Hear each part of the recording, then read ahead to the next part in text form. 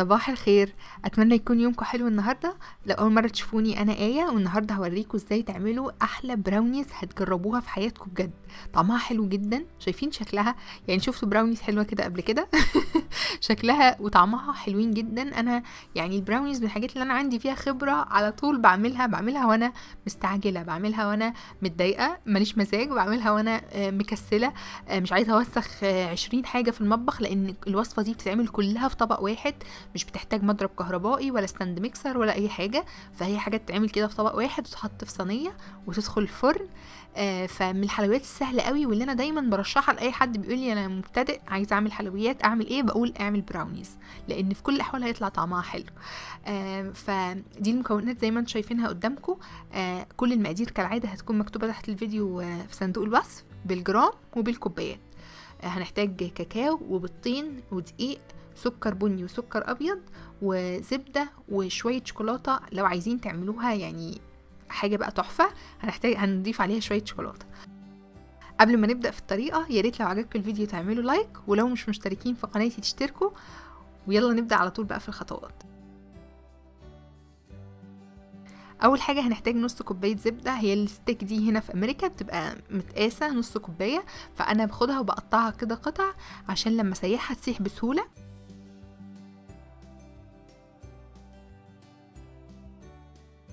دخلتها الميكرويف 30 ثانية ولا حاجة وبس هحطها في الطبق. لو ما عندكوش ميكرويف آه، تقدروا تسخنوها على نار هادية على درجة حرارة هادية.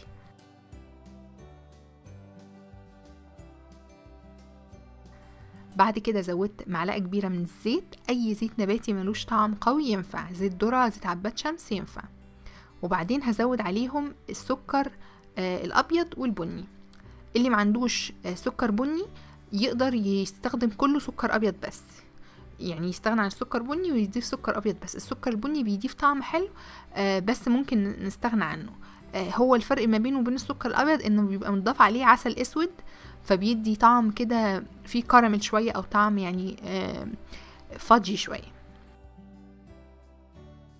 هحرك الاتنين مع بعض بالمضرب العادي لحد ما أحس إن هما يعني اتخلطوا شوية مش هيدوب مش هيدوب السكر قوي إلا لما أضيف آه البيضتين.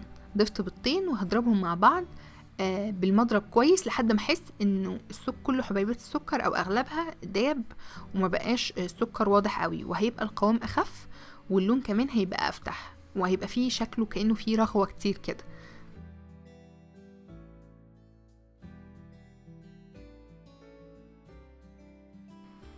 وبعد كده ضفت.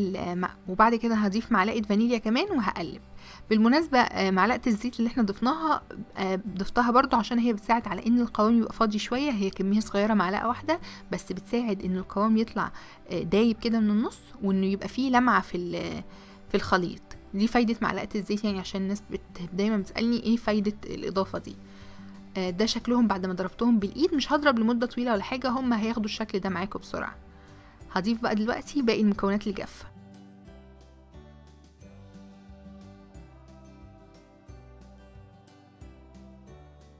عندي هنا نص كوباية دقيق رشيت عليها رشة ملح زي العادة وعندي الكاكاو الخام رشيت عليه شوية من ممكن تحطوا بودرة الإسبريسو اللي أنا وريتها لكم قبل كده ودي بحطها على أي حاجة بعمل فيها كيكة آه، شوكولاتة أي حاجة بتعمل شوكولاتة أحب أضيف عليها شوية إسبريسو أو شوية آه، قهوة سريعة الذوبان زي النسكافيه والحاجات دي. أي إضافة نكهة قهوة على الشوكولاتة بتديها طعم غني وبتخلي طعمها حلو قوي ما بتحولش طعمها قهوة بس بتخلي طعم الشوكولاتة أحلى.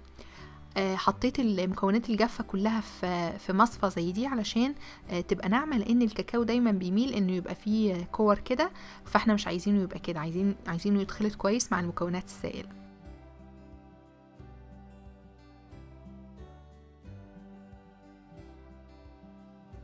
أهو شايفين ال- الكور دي اللي أنا أقصدها دي بتبقى بقى موجودة جوه البراونيز كده مش متغلفة وما ناكلها نلاقي يعني لسه في كتل جافه بعد ما تت- تتخبز من الكاكاو.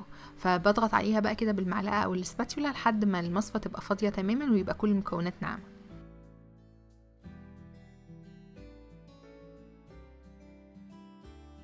بعد كده بقى باخد السباتيولا وبطبق بالراحة المكونات الجافة مع السائلة لحد ما يتخلطوا مع بعض.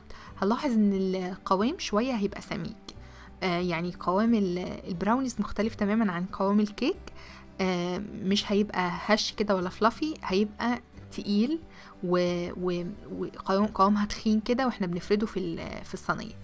المفروض البراونيز تكون كده عشان تطلع fudgy آه في حاجة كمان ملحوظة في ناس هتسأل أكيد عشان بحس الناس بتحب تسأل السؤال ده قوي. مفيش baking powder لأ. البراونيز ال fudgy ما بيتحطلهاش baking powder اللي عايزها تبقى cakey يعني قوامها زي الكيك خفيفة كده وهشة وتتنفخ قوي في الفرن. هي كده كده هتتنفخ شوية حتى من غير baking powder بس اللي عايزها تتنفخ قوي وبيحب قوام البراونيز كده هيزود نص معلقة أو معلقة آه من ال baking powder إنما أنا البراونيز اللي أنا بعملها دي هي ال fudgy زي اللي بتتباع في الكافيهات والحاجات دي. ما بيتحطلهاش أي محسنات ولا أي حاجة تزود حجمها.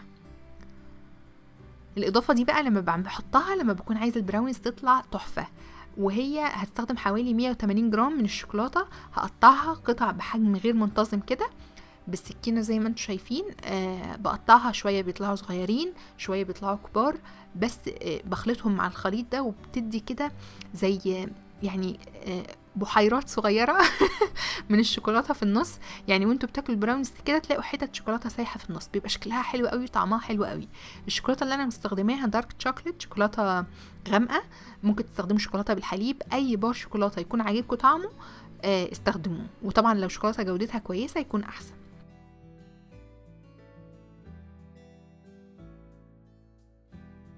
خلطتهم كده مع الخليط بتاعي وطبقت على بعض لحد ما يتخلطوا. وبعدين أخدت الصينية الصينية دي تقريبا مقاسها عشرين سنتي في عشرين سنتي. رشيتها وحطيت فيها ورق الزبدة عشان ما تلزقش. لو ما عندكوش ورق زبدة دهنوها زبدة وحطوا دقيق وحركوه. بس المهم اتأكدوا انكم تعرفوا تطلعوها من الصينية عشان البراونيز بتلزق بسهولة. فاتأكدوا انكم يعني إيه جهزتوا الصينية كويس. آه بعد كده فردت الخليط كده. وهدخلها فرن درجة حرارته 180 هتاخد من 25 آه لحد 30 دقيقة على حسب الفرن بتاعكم فخلوا عينكم عليها. شايفين شكلها بقى من على الوش عامل إزاي؟ الكرمشة اللي على الوش دي حاجة كلاسيكية قوي في البراونيز آه فده معناه ان هي كده اتخبزت صح. آه وملحوظة كمان وانتوا حاطينها في الفرن حطوها على رف عالي شوية مش لازم تحطوها في نص الفرن حطوها فوق النص بشوية. آه سبتها بقى تبرد وبعدين عديت السكينة من الجناب كده وطلعتها بقى وهسيبها تبرد كويس قبل ما أقطعها. عشان تقطعوها بشكل كويس يا إما تستخدموا سكينة بلاستيك من اللي هي اللي زي بتاعه المطاعم دي آه يا إما تستخدموا آه سكينة معدن عادية بس تغمسوها في مية سخنة سخنة كويس وبعدين تمسحوا بمنديل تنشفوها وتقطعوا عشان بس البراونيز تقطعها عشان هي ستيكي وبتلزق كده فتقطعها صعب شوية. فما تغمسوها في مية سخنة ما بين كل مرة والتانية وتمسحوها هتتقطع معاكم مربعات شكلها نظيف.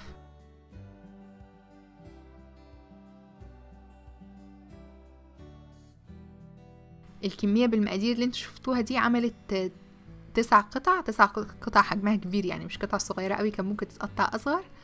وبس ده الشكل النهائي. اللي عايز يعمل صينية أكبر يقدر يضاعف المقادير. شايفين شكلها حلو إزاي؟ بجد شكلها تحفة أحلى حتى فعلا من اللي بتتباع في أي مكان أو أي بيكري أنا بشتري منه. وشايفين دي بقى قطع الشوكولاتة اللي أنا قلتلكوا عليها شايفين حتت الشوكولاتة السايحة اللي في النص؟ طعمها تحفة بجد وقوامها كده بيدوب في البق آه fudgy قوي من النص. وفي نفس الوقت الطبقة اللي على الوش دي فيها شوية قرمشة والأطراف كده من بره فيها شوية قرمشة برضو.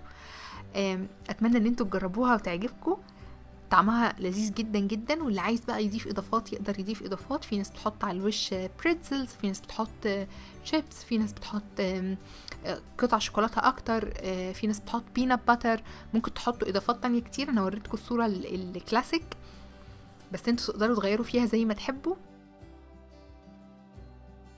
أتمنى تجربوها وتعجبكم زي ما عجبتني متأكدة إن هي هتعجبكم لأن هي فعلا طعمها حلو قوي. يا ريت لو عملتوها تاخدوا لها صورة وتبعتوها لي آه على ال account بتاعي على انستجرام هتلاقوا ال link بتاعه تحت الفيديو في صندوق الوصف عشان أشارك يعني تطبيقاتكم للوصفه وبس أتمنى أتمنى لكم يوم حلو وأشوفكم تاني على خير قريب وباي باي.